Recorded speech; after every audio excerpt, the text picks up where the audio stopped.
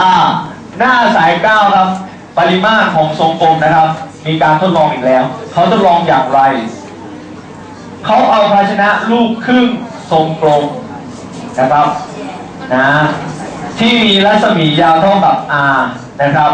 และภาชนะรูปทรงกระบอกนะครับ ที่มีรัศมียาวเท่ากับ r เช่น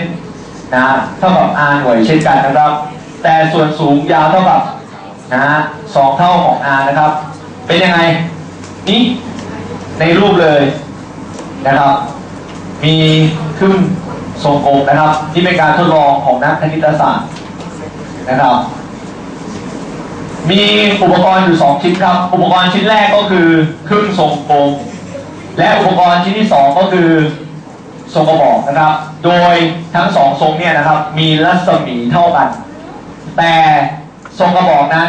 เขากำหนดให้มีความสูงเท่ากับสองเท่าของรัศมีนะครับ บางคนจินตนาการออก บางคนบอกเฮ้ยจริงด้วยพี่ ถ้าเกิดทรงกลมทั้งวงเนี่ย เราเอามาใส่ตรงเนี้ย มันก็จะเต็มทรงกระบอกเลย อ่า บางคนจินตนาการลึกล้ำมาก ใครยังจินตนาการไม่ออกไม่เป็นไรครับ เรามาดูครับ เขาใช้ภาชนะครึ่งทรงกลมตวงทรายทีละเต็มภาชนะออกไปตักทรายมาชุดเต็มเลย แล้วเททรายใส่ภาชนะรูปทรงกระบอก จากการทดลองพบว่าต้องนะครับตักทรายเทลงไปในทรงกระบอกเนี่ยกี่ครั้งขีดเส้นได้ว่าสามครั้งครับ แต่ไม่ใช่ทรงกระบอกเป็นสามเท่าของทรงกลมไม่ใช่อะทรงกระบอกไม่ได้เป็นสามเท่าของทรงกลมอะเพราะอันนี้ไม่ใช่ทรงกลมอะใครเอาทรงกลมไปตักทรายได้มั้งขั้นเทพเลยนะเอาลูกบอลไปตักทรายตักผือวะลูกบอลมานี่ตักทรายปุ๊บ แต่เท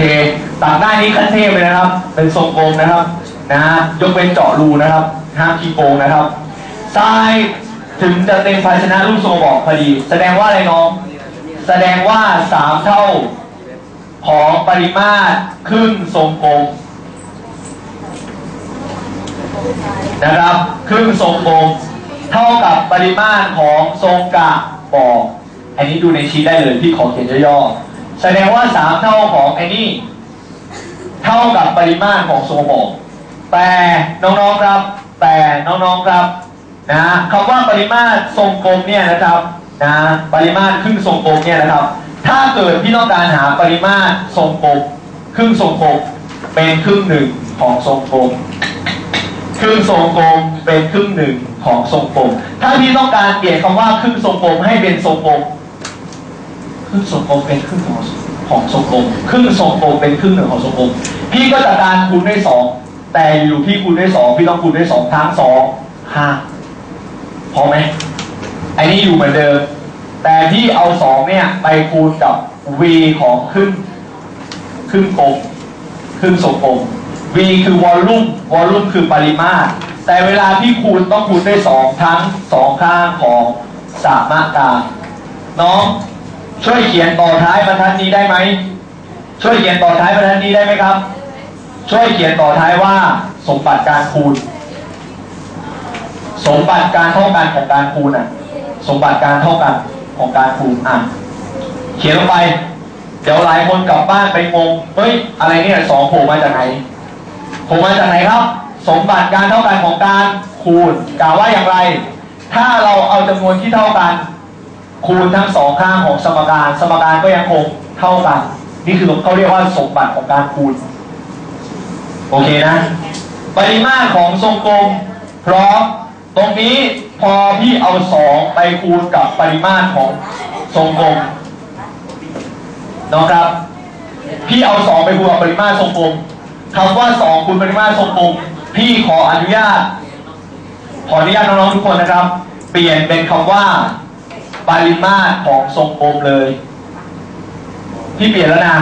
พี่เปลี่ยนคำว่าสองคูณปริมาตรครึ่งทรงกลมเปลี่ยนเป็นปริมาตรของทรงกลมแล้วตรงนี้เนี่ยสองคูณทรงกระบอก แต่น้องรู้แล้วครับว่าสองคูณทรงกระบอก น้องรู้แล้วว่าทรงกระบอกปริมาตรสุดว่าไงพาย r กำลังสอง h ตรงนี้ไม่ต้องจดนะครับพี่อธิบายให้ฟัง แล้วเขาก็จัดการครับย้ายข้างครับ ย้ายข้างครับ ย้ายเลขสามไปครับ ย้ายเลขสามไปด้านขวาครับสองตั้งไว้ครับสามตัวนี้ย้ายมา คูณพายออกำลังสองเฮ้ย h เฮ้ย แต่อุปกรณ์ที่นักคณิตศาสตร์เอามาทดลอง แต่อุปกรณ์ที่นักคณิตศาสตร์เอามาทดลองในข้อนี้นั้น ความสูงของโซบอเป็นสองเท่าของรัศมี ความสูงของโซบอเป็นสองเท่าของรัศมีเขาจึงเปลี่ยน h กลายเป็น 2r ดังนั้นสูตรปริมาตรทรงกลมจึงเป็น 2 คูณ 2 ได้ 4 ส่วน 3 พาย r กำลัง 2 คูณ r ได้ r กำลัง 3 เศษ 4 ส่วน 3 พาย r กำลัง 3 คือสูตร h 2r ทำความเข้าใจจำ พื้นที่ผิวทรงกลม4พาย r 2ปริมาตรทรงกลม4ส่วน3พาย r กำลัง3โอเคนะ อ่าทำความเข้าใจแค่นี้ก่อนน้องๆครับ ทรงกลมตันรุ่นหนึ่งมีรัศมี 21 นิ้วจะมีปริมาตรเท่าไหร่ โอ้โห ข้อนี้ง่ายมาก เอาคิดครับ ปริมาตร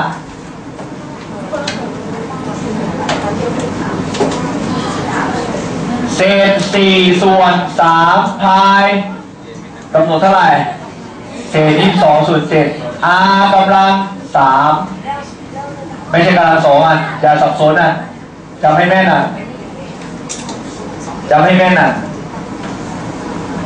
สามหนึ่งสามสามเจ็ดยี่สิบเอ็ดสามหนึ่งสามสามเจ็ดยี่สิบเอ็ดเจ็ดหนึ่งเจ็ดเจ็ดหนึ่งเจ็ด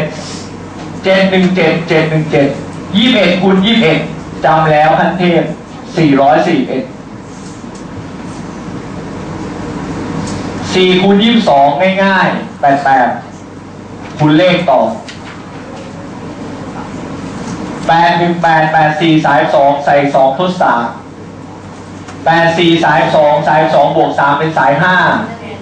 ใส่ศูนย์หนึ่งตัว ดึงแปดดึงสองดึงห้าดึงสามออกมา เลขมันเหมือนกันแปดศูนย์ทดหนึ่ง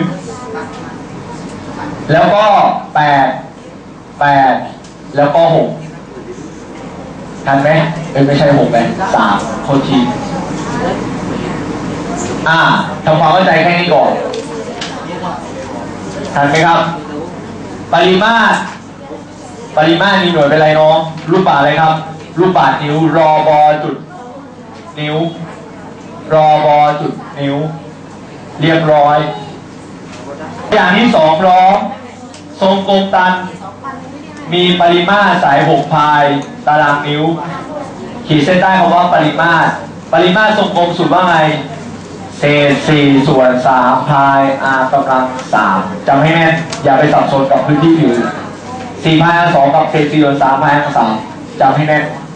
ตัวอย่างที่สองครับ ตัวอย่างที่สองครับน้องๆครับ ปริมาตรทรงกลมนะครับ ปริมาตรทรงกลมนะครับสูตรว่าไงครับเศษสี่ส่วนสามพาย r กำลังสาม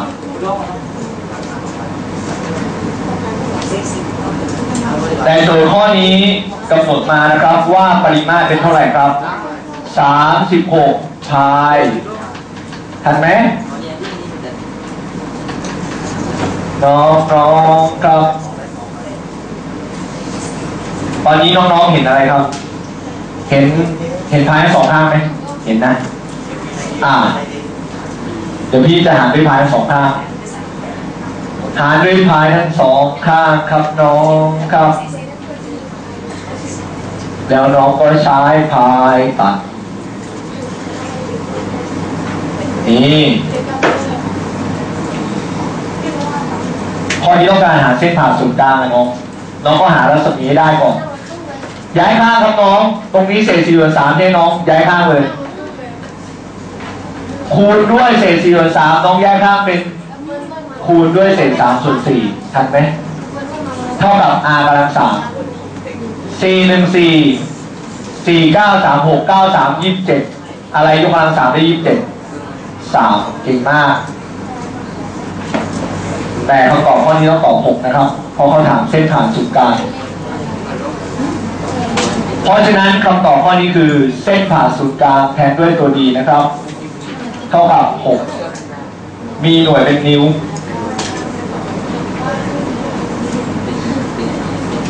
ทำความเข้าใจ